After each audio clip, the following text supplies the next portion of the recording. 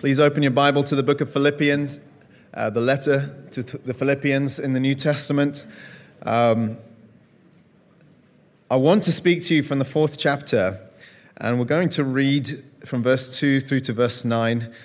And uh, these are, so often is the case in Paul's letters, whenever he was writing to a church, and this is a letter that was written to a specific congregation at a specific time in history.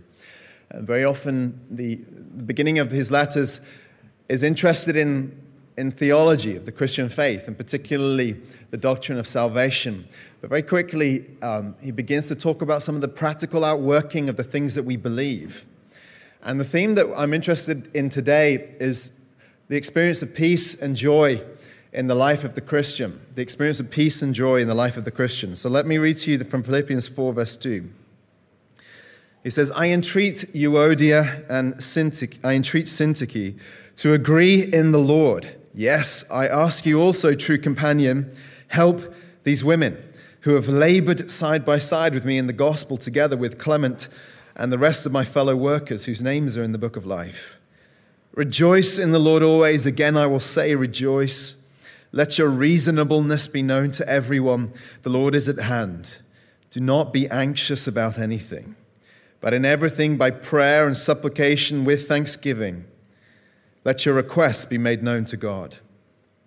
And the peace of God, which surpasses all understanding, will guard your hearts and your minds in Christ Jesus.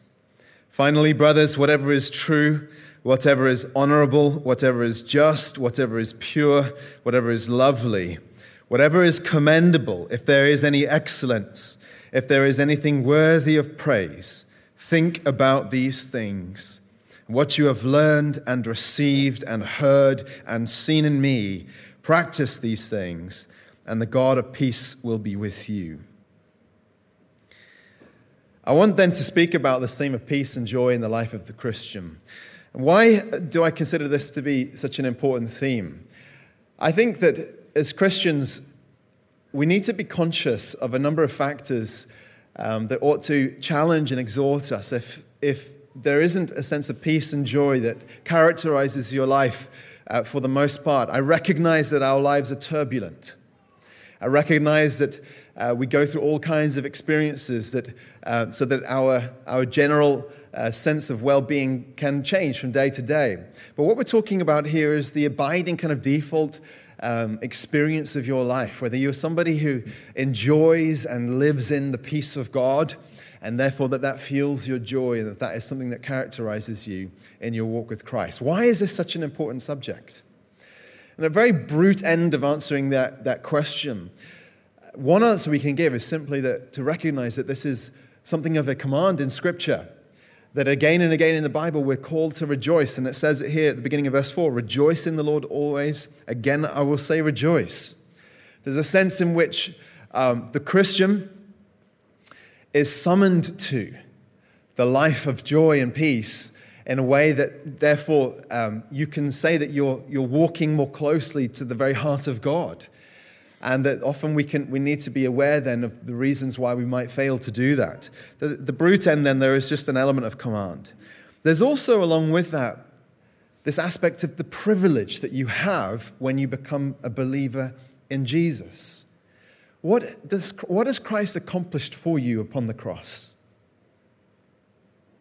Some of that can be answered in terms of the objective accomplishments of Jesus, what we understand to be our salvation, your justification, the reality that you are secure eternally. And these are things that are true about you, irrespective of your day to day emotional life. But I also am a firm believer that the privilege of being a child of God is something that can penetrate into the deepest parts of your heart. That it ought to affect the subjective, the experiential dimension of your life. And that one of the chief ways in which the experience of salvation will be marked in your life is through the enjoyment of the peace of God and the joy that He puts into you. I've heard it described this way that Perhaps before you were a Christian, you could have said that your life was surrounded with happy and pleasurable experiences, but at the center of your life was a desperation or even a misery. And that very often the Christian can experience something of a reversal of that circumstance. That even when the outer circumstances of your life can be full of turmoil and chaos, uncertainty and disturbance, and we've just been talking about the, the deeply uncertain experience that my co elder Jeremy and his wife Jen have been going through in recent weeks with regard to the pregnancy of Esther. Your life can be surrounded by disturbance, but at the center of your life is what um, has been described as a life joy.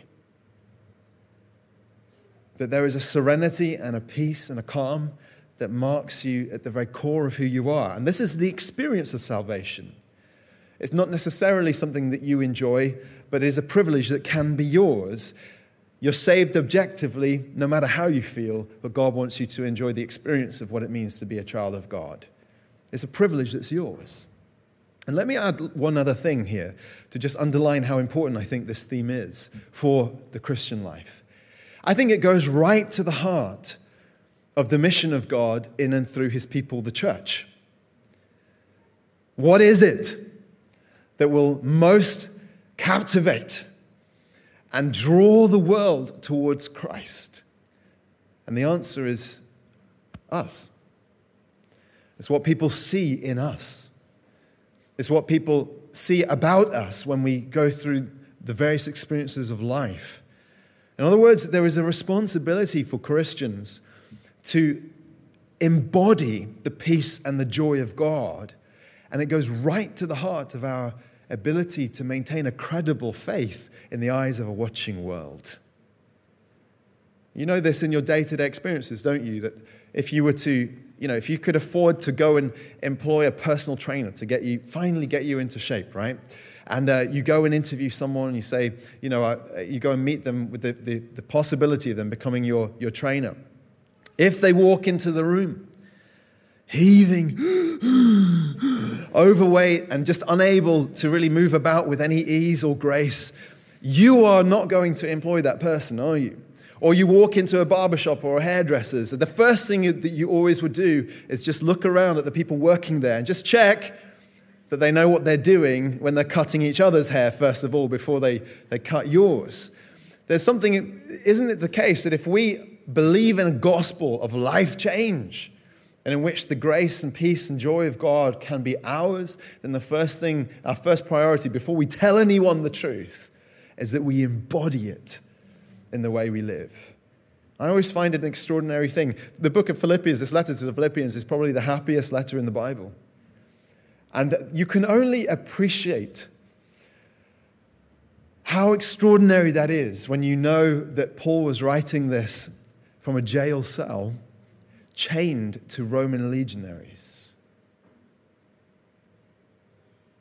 And yet, the, the joy of God, the contentment that was his in Christ, just pervades every sentence in this letter.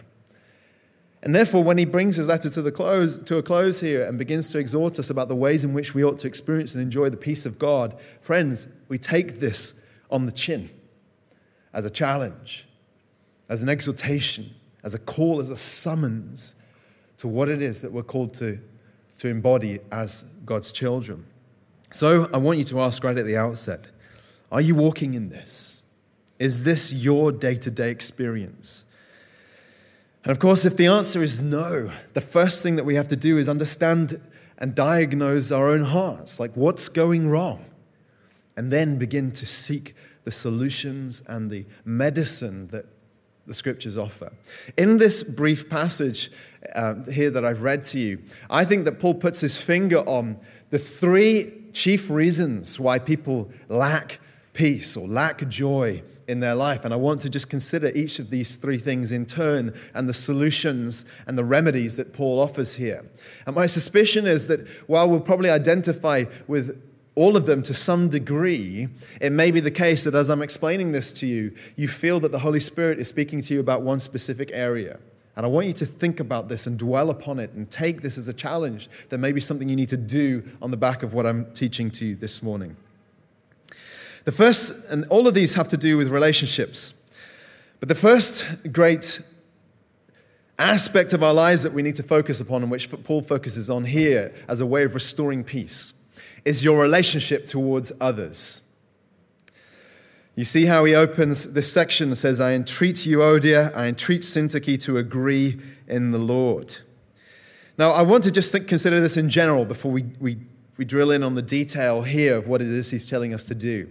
Just think very generally about this fact. It is my experience and observation that most of the misery that we, we encounter in, in our day to day lives stems from a breakdown in relationships or inadequate experience of love and joy in relationships with others.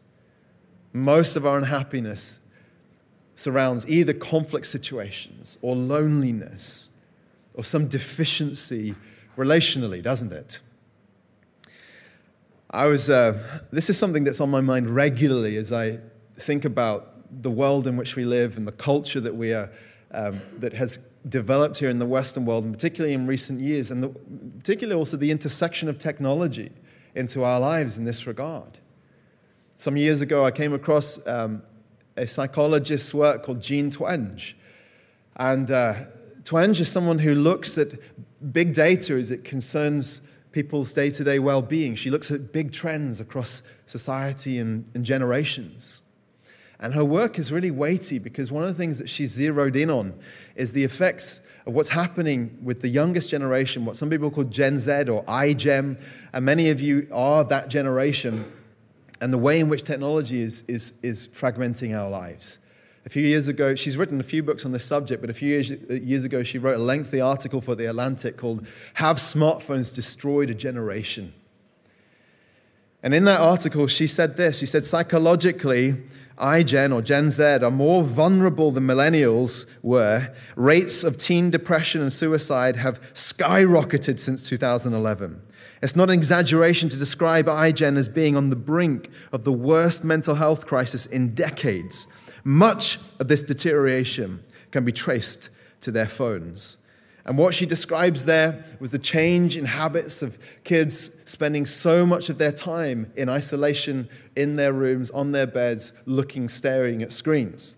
Now, I'm not here to specifically speak into that issue, but what I do think it does is it reveals to us the absolute connection, the unbreakable connection that there is between our sense of joy, happiness, and well being in life and our experience of, of flourishing, joy filled relationships. And that when there's a breakdown in our experience of community and love, whether at the family or beyond that, then there is inevitably a deterioration in our overall sense of well being. This is something also that was observed in. Um, a, you, can, uh, you can read online later about this, but there's something called the Roseto effect which was uh, named after a small town in America called Roseto. At the time was only about 1,600 people in the mid 20th century. And uh, most of them were immigrants from Italy, had all sort of developed this, uh, th- this town together and were living together in tight community. And they were part, unintentionally, they were part of a great long range study that had been taking place in the area among the population generally and they were looking at health data and all this kind of stuff. And one of the things they noticed was this bizarre freak situation in this little town called Roseto that it bucked the trend of every, every, all the other population around them, in that these people in Roseto seemed to have unusual outcomes with their health over long term. Issues that affect us normally weren't affecting them, and particularly heart disease.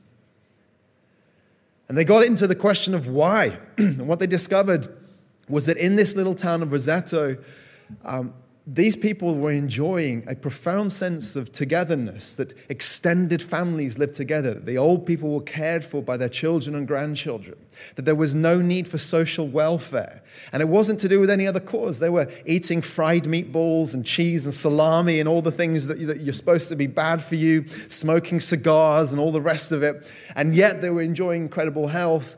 And all of that continued until the kind of secularization or the kind of individualization of Western culture eventually took its grip on the Roseto. The kids began to move away. There was this fragmentation of culture. And then all the health outcomes matched up with the surrounding um, areas of the USA. And I'm just offering you these things to illustrate to you how totally inextricable your sense of joy and peace and well being in, in life is from your experience of loving relationships. And the two are intertwined, and the Bible shows us this all the way through. You think about the Garden of Eden, how it says of Adam and Eve that they were naked and not ashamed, which is such an evocative description, primarily because what it's showing us is that there was no shame, there was no sense of hiding from one another. There was this total vulnerability and openness towards each other. And of course, within, within moments, it seems, as you're reading the book of Genesis, from the, from the experience of the fall, in which shame begins to enter in and they begin to hide from God and also experience the desire to, to cover themselves, and then conflict with each other there is also, within just a matter of, of a few words, we're reading about the story of their sons and how one of the, the oldest son murders the younger brother. And you're beginning to see fragmentation creep in as a result of sin.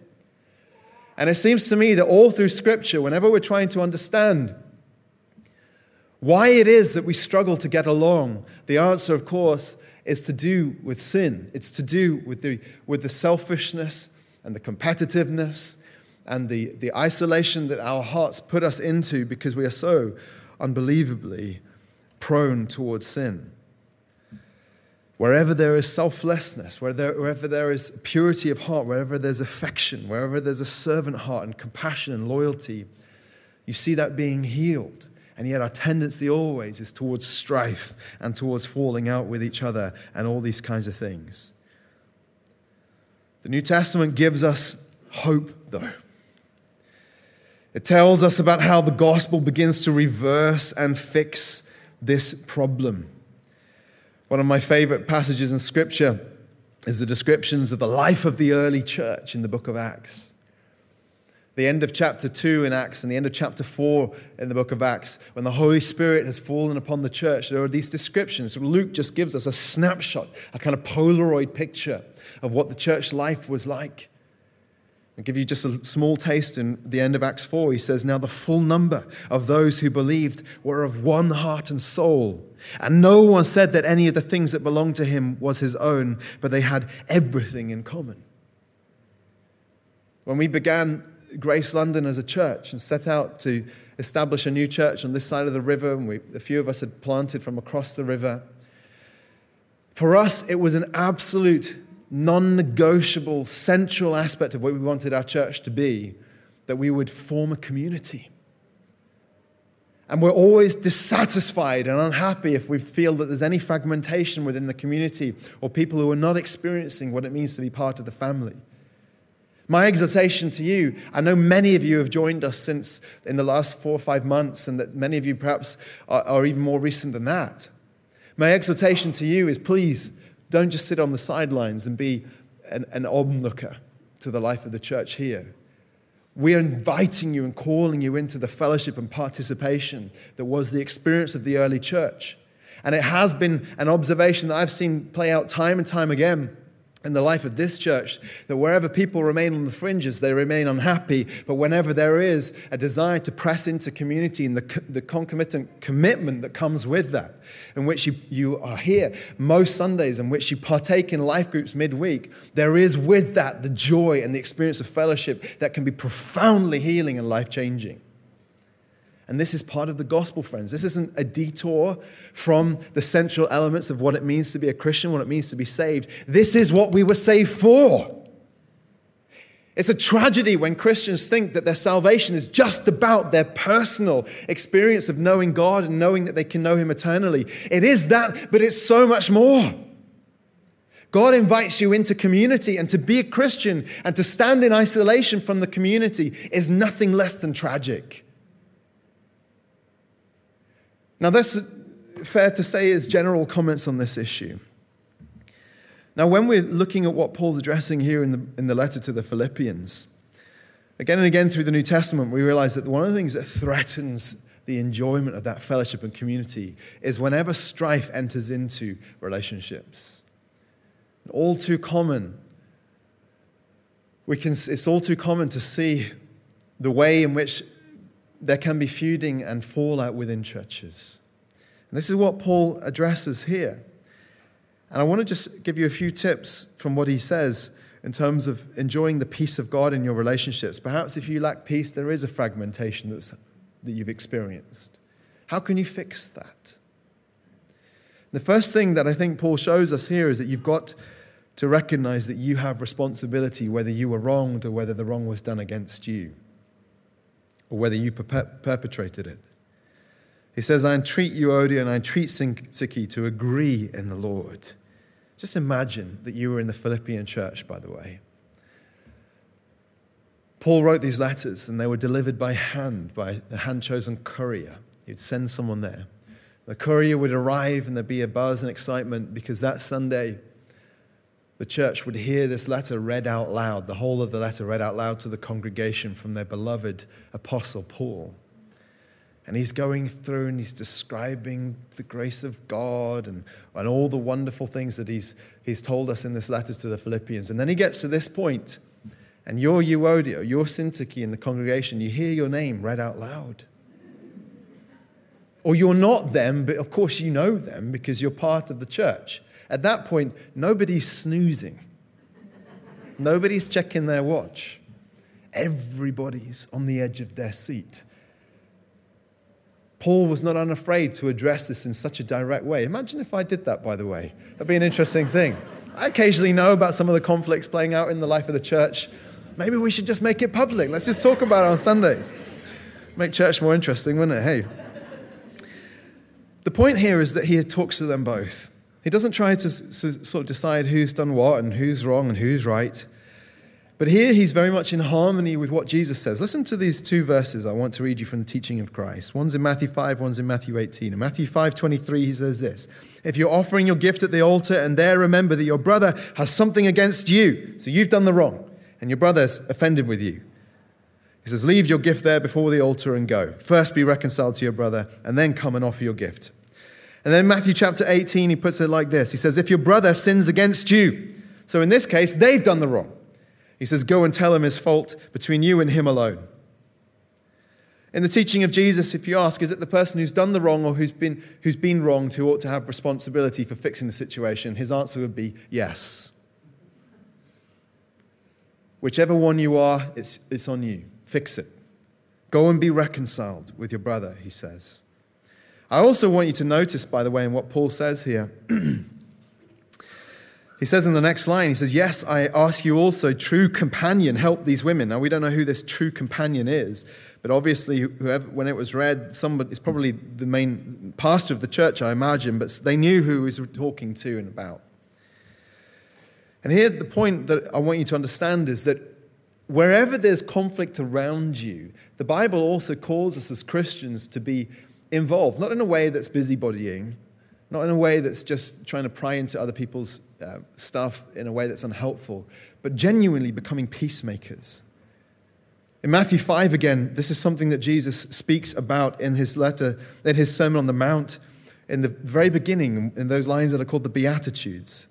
And one of those Beatitudes is when he says, Blessed are the peacemakers, for they shall be called sons of God. A peacemaker is somebody who gets into a situation to fix relational breakdown and fragmentation. And why does he say they'll be called sons of God? And the way I understand that is because he's saying that there's going to be a family resemblance. God describes himself through Scripture as the God of peace. And God has brought about the ultimate reconciliation in terms of reconciling us to himself in the cross, in the gospel. And therefore, whenever you become a peacemaker, someone who, in seeing conflict around you, wants to bring the peace of God to that situation, then you resemble your Father in heaven. You carry the family likeness. Friends, there is something so important about Christians dwelling in this kind of joyful peace and harmony together. We can't be too touchy we can't be too sensitive. We can't be too easy, easily angered or easy to take offense. I love this verse in 1 Peter chapter 4 where he says, Above all, keep loving one another earnestly, since love covers a multitude of sins. In other words, he says, sometimes people are going to offend you and upset you.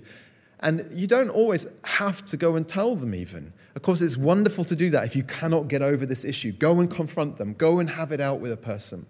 But sometimes you can just cover it over, forgive, and forget. Love covers a multitude of sins. I want to challenge you as a, before we close this point. Brother, sister, are you someone who's living out of harmony with someone in your life and it's causing you distress?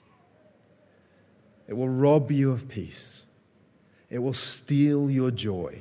It will consume your mind and your thoughts so that whenever this situation comes to mind, you no longer feel at rest. Christ calls you to address it. This is how we enjoy the peace and the joy of God, in relationship to others. This brings me to the second thing that Paul addresses here, which is your relationship to God Himself. Now, it ought to go without saying, really, that a lack of peace and joy can stem from an interference or a breakdown in terms of your experience of your relationship with God Himself, that there is something wrong there. And obviously, this has application to any of you who are not believers at all. I recognize that among us, there are people in this room who do not consider themselves to be Christian at all. And I want to just call you to pause and consider your situation for a second. There's a God who made you and who loves you and who's designed you for a specific purpose and intention, which is to know and enjoy Him. And whenever something is, is, is, is not being put to its right use, that thing cannot flourish. And this is true of you as a human. If you are called, and the most important aspect of your creation, your creation is that you should know the God who made you, if there is a breach, if there is a distance, if there is a sense in which you do not walk with and know the God who made you, you cannot know the peace that comes from God alone. This is one way in which the Bible explains our emotional state. And the lack of peace that we can so often feel, and what is evident all around us in society. In Romans chapter 5, Paul says, Since we've been justified by faith, we have peace with God through our Lord Jesus Christ. That's the offer of the gospel. You can be justified, which is to say, you can be forgiven, and God can wipe away your sin, past, present, and future. All of it laid upon Jesus Christ upon the cross. And then Paul says we have peace with God. The peace to rule all other pieces in your life. The most important type of peace, the most fundamental experience of peace is to know peace with God. And that is impossible if you don't come to Him and ask for forgiveness and receive the grace that's yours through Jesus, believing in Jesus. But I also know that it is possible as Christians for us to experience peace being interrupted in our lives, distorted, loss of peace. And there can be many reasons for that. I think that there is obviously the reality of ongoing sin in the life of the believer, that as much as God has accomplished a great work in you, you're not finished. And for as long as there is sin in, in our lives, and there will be, then that will interrupt our experience of the peace of God. And especially if we are indulging it, if we're walking in it and walking away from God, you cannot know the peace and joy of God if that's your situation. How often we bemoan our misery and our frustration or a sense of distance from the Lord without addressing the fundamental thing the Bible says repent, brother, sister, get right with God again. There's sin. There's enjoying intimacy in His presence in a daily way. There's trusting Him. All these things, these dimensions are important to the life of the believer, experiencing peace, knowing peace in your day to day life. But the thing that Paul zeroes in on here in the letter to the Philippians is he begins to address the issue of anxiety. And that's what I want us to think about. Anxiety, by definition, is the absence of peace and will therefore rob you of joy. And I'm not speaking necessarily here about that debilitating clinical anxiety that some people suffer with. I think these things are slightly above my pay grade, and I don't pretend to understand the ins and outs of this. Uh, for some folk who experience this in a truly debilitating way, I do believe that Christ can change you. I do believe that you can know healing in these areas of your life. But that perhaps needs to wait for another day for us to think and talk about. What I'm speaking about here is the, the nuisance anxiety that all of us encounter to some degree in our lives. And I've shared with you before how, for many years, I failed to see this in my own life. For whatever reason, I had caricatured anxiety in my mind and related it to just a few people I know and thought of it in a particular way as something that I don't experience. And it, it was really a dawning light on my own heart when I began to realize that some of the things that I was struggling with and the way in which I lacked joy in a day to day sense was rooted in an abiding lack of peace or anxiety that was governing my emotions to an unhealthy degree. And so I'm not speaking to you here as one unsympathetic or understanding of these issues. This is an ongoing thing for me. I have to obey the very things that I'm about to instruct you to do. I have to listen to the word of God like you. So, what I'm speaking about here is something you may not have even seen in your life. It can be characterized by a sense of heaviness by a chronic sense of stress, by sleepless nights, by a mind that's constantly worrying. It can be characterized by behaviors like procrastination or escapism or self comfort. It can take a form of, of, physical symptoms. Over time, this is true as you get older, that that anxiety will begin to show itself in your body through high blood pressure and through other chronic issues that affect us as we grow older and very often stem to this lack of peace in our hearts. I want to be clear then about what it is that the Bible tells us to do about anxiety. The Bible does not instruct us to go first to medication. And I don't want to dismiss that as something that can, is inherently wrong or unhelpful. I think that there is a place, and God's grace to us can come in all kinds of ways.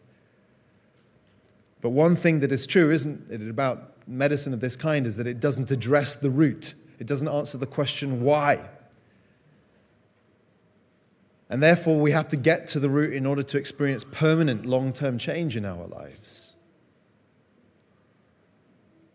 Nor does Scripture instruct us to absorb the kind of secularized versions of Hinduism and Buddhism, which is so often the easy solve that people are looking for in our day and age. Mindfulness meditation or other kinds of meditation. And it actually grieves me when I see Christians who have got underdeveloped or barely developed prayer life, so easily buying the myths of our culture as though this is the answer you've been looking for when you haven't even sought God in the way that you're instructed to seek Him. So, friends, if you ask the question, what is it the Bible tells us to do about this, this nuisance, this frustration, this ongoing experience that, that can plague and afflict so many of us in our day to day lives? The answer, Paul says, is prayer. And let me show you a few things about what he says here about prayer. Verse 6, he says, The Lord is at hand. Do not be anxious about anything but in everything, he says, by prayer and supplication. The first thing you've got to understand here is that Paul says that prayer should be a comprehensive reality in your life, that your prayer life covers the full scope of your experiences. Don't be anxious about anything, which covers the largest and most overwhelming experiences of life, but it also covers the smallest troublesome issues that you face in your day to day life. But in everything, he says, by prayer and supplication. I think one of the problems that Christians have is so often that we, we think we ought to pray about certain things and we neglect to pray about the things that are really on our hearts. Either thinking that they're too big and I don't have hope for that to be solved, or too small, God's not interested in this, that, or the other thing. Paul says in everything. He described his own prayer life as being without ceasing. If you ask the question, how is it that Paul could enjoy the peace and joy of God even in such horrendous circumstances that he was in? repeatedly throughout his life, but even as he writes this letter, the answer is he, he enjoyed unbroken communion with God. In everything, he says. Another thing he says here is that it's by prayer and supplication, which is to say that, that not all prayer will do.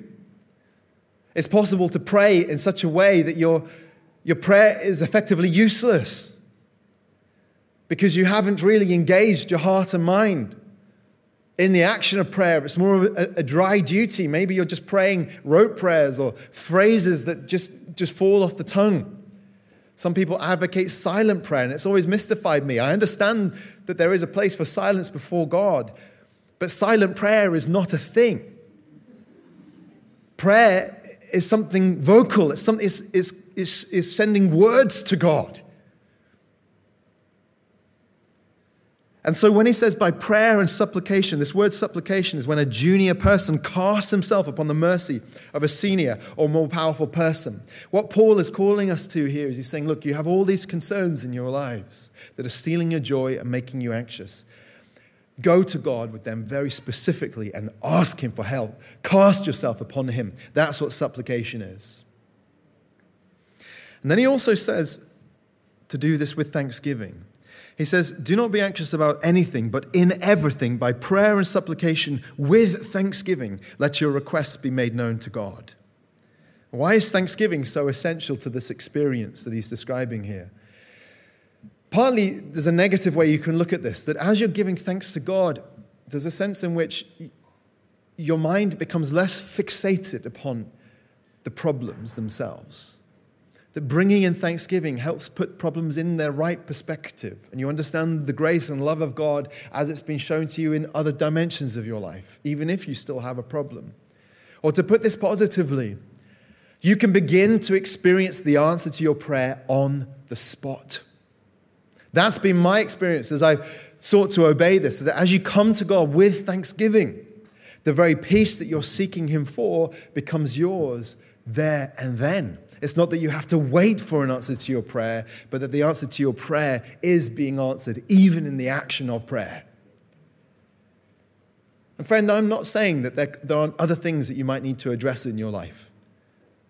That our anxiety can also stem from unhealthy habits or, or lack of exercise or healthy relationships or all these other things. And everything we need to seek the wisdom of god in every dimension of our lives. But friends please don't run to that stuff if you haven't addressed the most fundamental thing which is to develop and deepen this sense of dependence upon god in prayer. And he says this promise with it that the peace of god which surpasses all understanding which is to say, it's a kind of irrational peace. He said it will guard your hearts and your minds in Christ Jesus. And I think he said that with a glint in his eye because that was what people would have said of Paul. Your peace makes no sense. Look at you in the situation you're in. This is irrational to know this kind of joy. The peace of God will guard your hearts and your minds. Let me bring you to a final point here then. Our experience of peace is to do with our relationship with others, our relationship with God. There's also an aspect here that has to do with your relationship with yourself. And I think much loss of peace in the Christian life is down to a failure of self governance and self leadership. One of the fruits of the Spirit, when Paul lists them in Galatians 9, is self control. There's a sense in which we're called and summoned to live a life that embodies the wisdom of God. And that when we fail to do that, what we're doing instead is we're walking in folly. And you can expect that when you're walking in the wisdom of God, things will go better for you. And you'll know the peace of God in your life when your life is governed by the word of God. And as long as you are ignoring it or doing things that are foolish, that peace will, will absence itself from your life. And what Paul does here is he gives us these two deeply practical ways in which we need to, to understand what self governance looks like so that we can know peace. And he addresses our thoughts and our habits. It begins with thoughts. He says, Finally, brothers, Whatever is true, whatever is honorable, whatever is just, whatever is pure, whatever is lovely, whatever is commendable, if there is any excellence, if there's anything worthy of praise, think about these things. This is not dry theory for Paul. He wrote his letters as, as something coming from the, the pressure of the moment either because of situations he knew of in the churches that he was writing to, or things that he was meditating upon and putting into practice in his own life. And so when you read this, you have to understand this is his own expression of how he enjoyed the peace and joy of God in the situation he was in. And he said it has a lot to do with what you pay attention to. Now, I wonder if Paul could have had any concept of the challenge of this in the modern world. I don't want to in any way minimize the challenge he faced. It wasn't like he had the luxury of going for long walks in, in woodlands and enjoying uh, barefoot strolls along beaches, enjoying the peace of God and whatever. He was chained in a damp, dank prison cell to a Roman guard.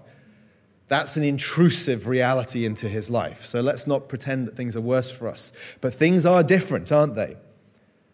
Back in the, mid, in the late 50s or early 60s, my grandmother bought an old tube television set, black and white television set, and it was delivered to the family home where my mum was a young girl.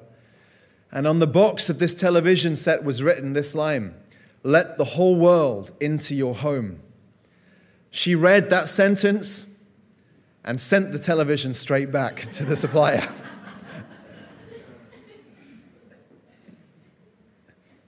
Back then, I, my guess is there were only one or two channels on the television as well. There wasn't that much diver, diversion, was there? Or distraction. And not particularly great quality entertainment at that.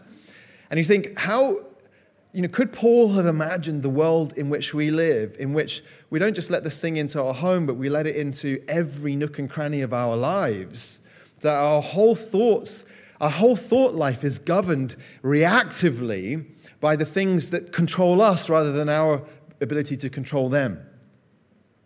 So we have constant interruptions and we have constant distractions and we have unending entertainment. And our work patterns are, as, one, as Cal Newport describes, the kind of hyperactive hive mind because you're never really disconnected from your work and it's all just taking place simultaneously with people in your workplace. You think, how can a human flourish and have any governance over their thought life when their thought life is constantly intruded upon in this way. Now, I'm not here to address that theme or topic in any great detail, except to say this, friend. This is a matter of urgency, I think, and of spiritual urgency for us as believers to think about and to address.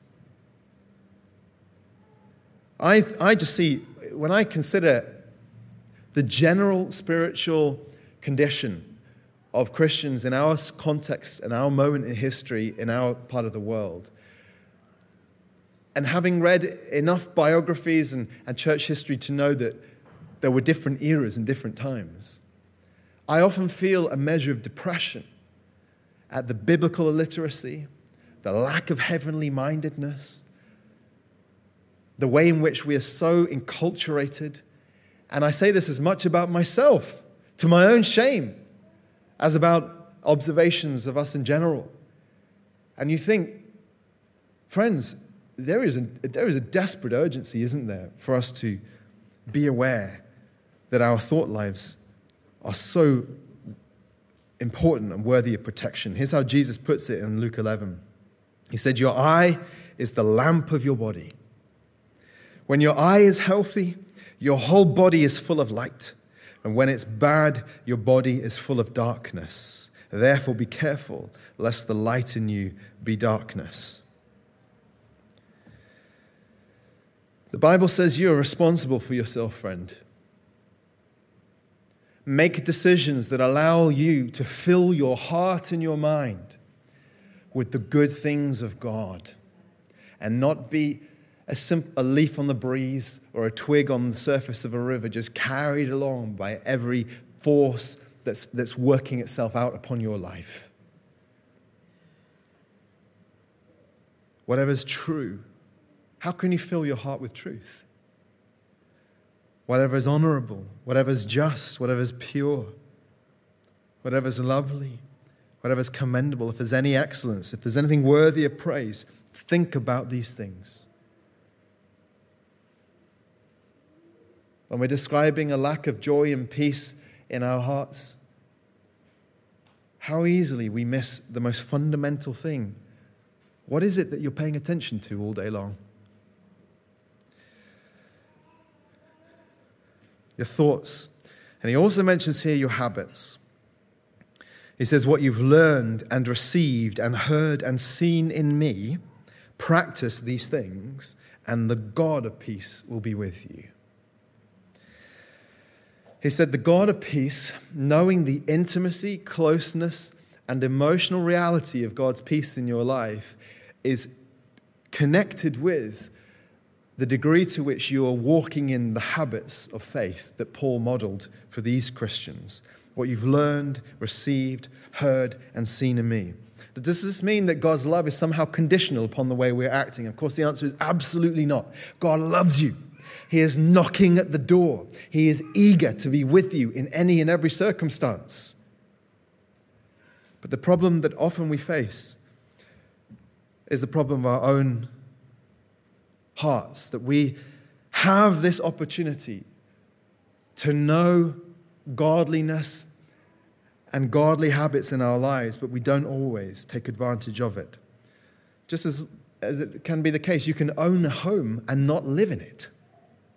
Many people who you encounter who are homeless have at one stage been in that situation and have chosen not to be.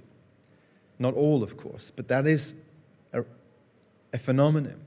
It's possible to have family and not see them or enjoy them, to have friends and not spend time with them. It's possible to have something that's yours and not enjoy it. And that is true for the Christian who has come into the experience of becoming a child of God, but has no practical evidence in their life that they're enjoying intimacy with Him on a daily basis. And so Paul says, What you've learned, received, heard, and seen in me, practice these things. And then see, watch, how the God of peace will be with you.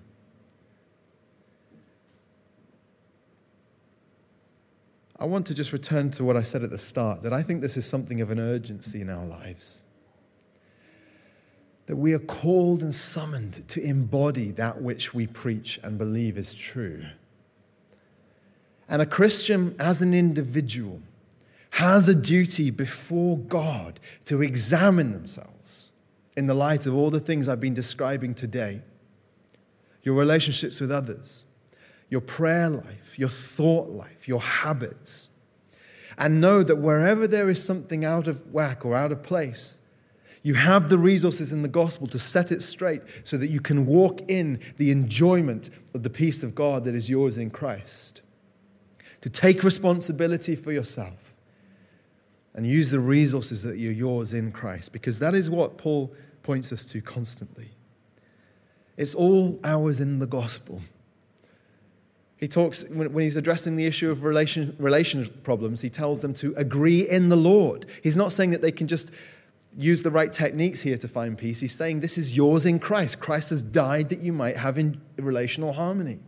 When he's talking about our prayer lives, he talks about, about God guarding our hearts and minds in Christ Jesus. The peace that's yours is peace through the gospel. He says, The God of peace will be with you. This is the birthright of the Christian. I know, as I said earlier, some of you are not Christian at all. And I just want to say a final word to you. Friend, what is on offer for you here and what Paul modeled to us is an experience that can be yours the moment you turn to God. And I want to encourage and urge you perhaps this is what brought you to church in the first place. This is what you started you on a kind of spiritual journey, was an, an honest look at your own life and saying, whatever I've done up to this point, it isn't working. The Lord wants to address that. And then for the majority of us who are believers in Jesus, what is it that the Lord has put his finger on today? What is it that he's called and summoned you to do? What do you need to put into practice? I want to urge and encourage you. Part of the Christian life is just this obedience, this imitation, this willingness to walk in the things that the scriptures call us to. And not to be like infants, but to grow up into the maturity that's ours in Christ. I want to pray for us now. Let's bow our heads.